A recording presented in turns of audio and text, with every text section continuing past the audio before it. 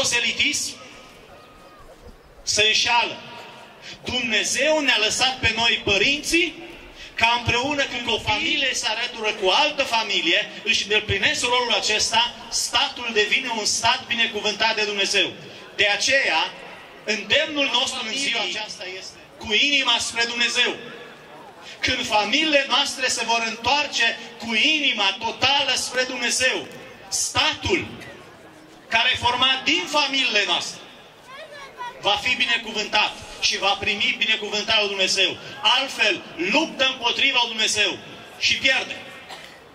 Suntem atât de bucuroși de vestea pe care am auzit-o. Ezechiel s-a reîntors în familie. Asta dorește Dumnezeu. Și ne rugăm în continuare. Nădăjduim să nu mai treacă 150 de zile.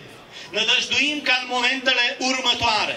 Nădăjduim ca atunci când românii vor sărbători moartea și învierea lui Isus Hristos, familia Bolnariu să poată să cânte cu toții. E viu, e viu, Isus Hristos e viu. De aceea suntem aici. Să spunem întregii lumi că noi trebuie să ne reîntoarcem spre Dumnezeu. A creat familia, a creat statul, a creat biserica și ele trebuie să rămână subordonate sub autoritatea și sub puterea lui Dumnezeu. Doresc ca Dumnezeu să ne binecuvinteze pe toți. Mulțumesc lui Dumnezeu că ați fost îndemnați să veniți să fiți aici și să fim alături de familia Bonariu și toate celelalte familii.